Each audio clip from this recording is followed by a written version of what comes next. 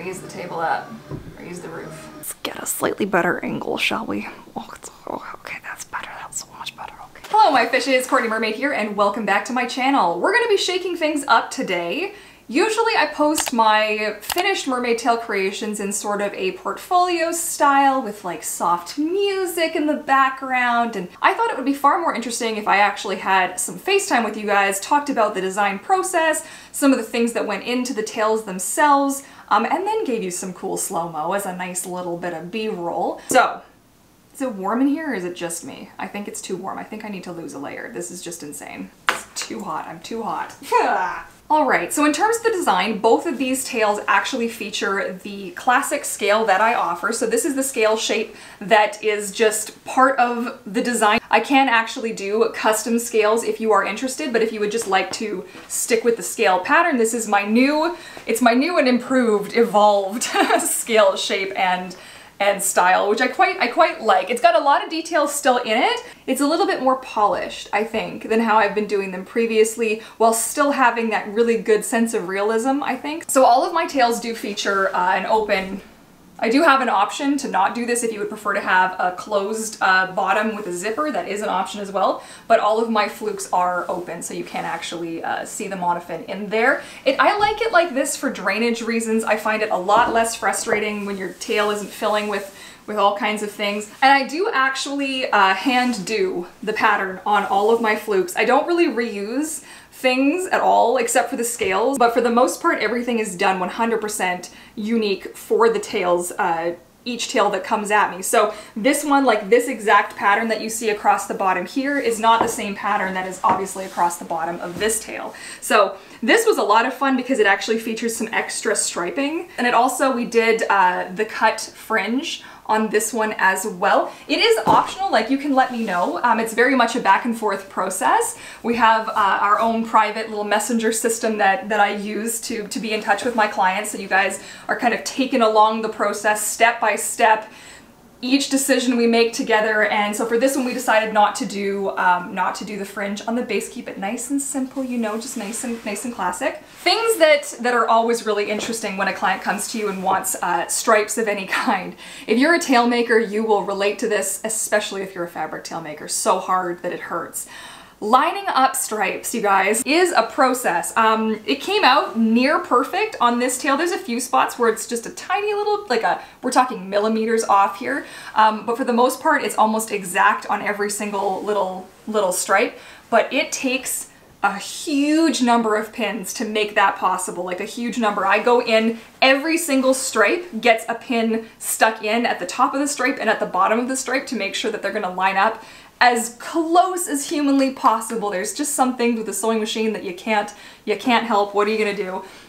We also have the nice stripes on the fins as well, which I really liked. These fins were fun to do. These fins were a lot of fun to do. The shape is definitely different than any fins I've done so far, and I really like, so we've got like the matching little finnies at the bottom. Super, super cute.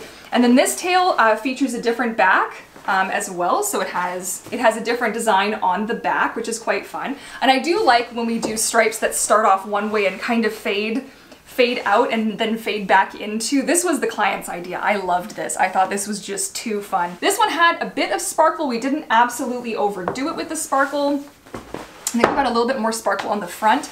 Um, just to keep it a little bit like, because that's more like the twinkly, softer areas, and then we chose to go a little bit darker um, on the back as well, which is something I do like to do. Now, another option that I do offer on um, in the shop is that you can get the same front and the same back. So that will save you a little bit as I'm only doing one design that then goes on the front and on the back.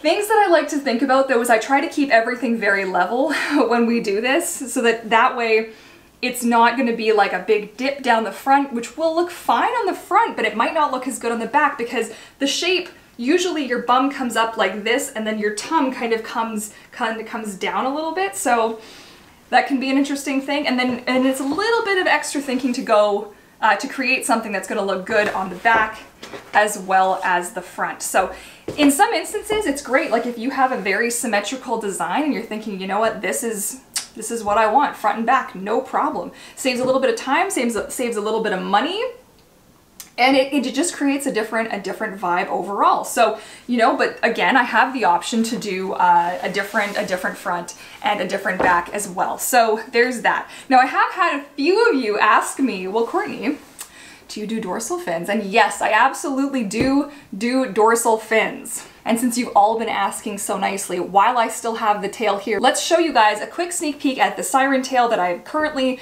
uh, that I've just finished for Mermaid Kim, and you can take a look at the dorsal fin on that, and we can talk about a few things. So to answer the first really big question is, Courtney, do you make tail skins for the Mertailor tails? Uh, no, I do not offer them in my shop. So this is a, spe a special circumstance. This is for my sister, so this isn't like, you know what I mean? It's a very special uh, situation where I, I, chose to make another tail for this monofin. I personally don't actually like making tail skins for this monofin. It's a little bit of a frustration when you're working with something so floppy.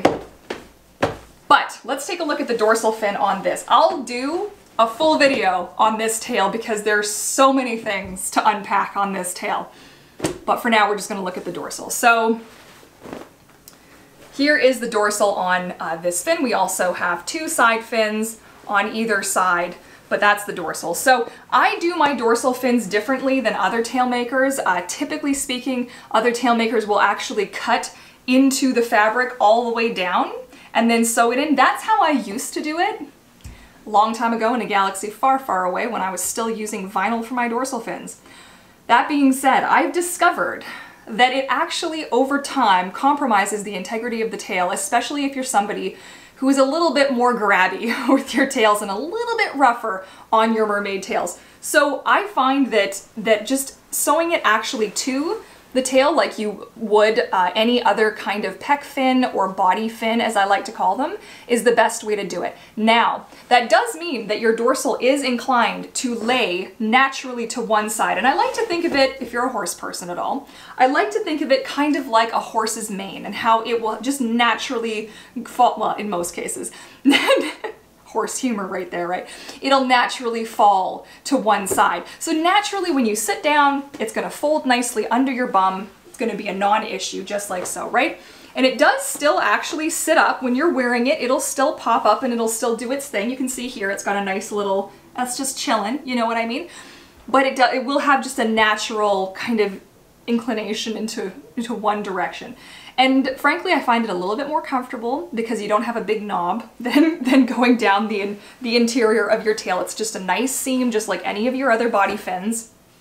Very simple and a little bit more comfortable and just it makes a little bit more sense in my opinion because the more that you cut into the tail, the more that you're just asking for more tears and more issues, right? So to avoid that. And it also means that you're never gonna have a spot where your scales don't line up. This is just a pet peeve of mine personally, especially with larger scales. When tail makers will cut into the body of the tail, of course you're gonna lose um, sort of half an inch depending on what your, your seam allowance is, but about half an inch on either side. And so that means there's gonna be a couple of scales that will, instead of being like a nice shape, they'll like overlap funny now because well, you cut into the fabric, so you've got to sew it up. Because you can't, like, how do you account for that, right?